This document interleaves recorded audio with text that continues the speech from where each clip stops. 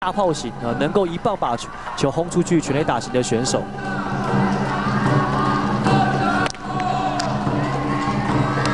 不过要把每个人的特色要拟定出来，然后脚快有脚快的用途啊，呃，大炮有大炮的用途。但是你角色分得清楚的话，那这个球队呢，应该会产生更好的一个得分的效果。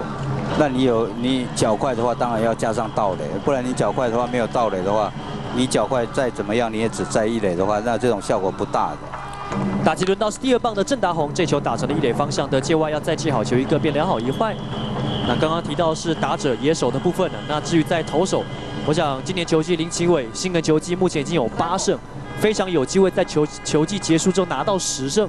那明年的他应该是更令人期待。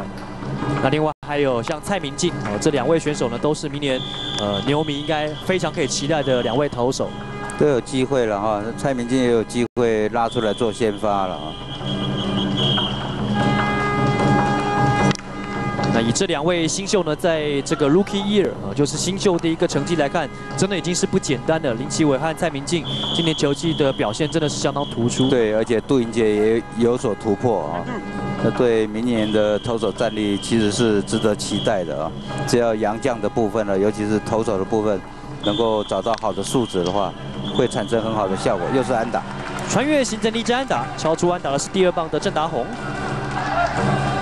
今天其实海克曼呢压制牛队的前四棒了，压制的相当好。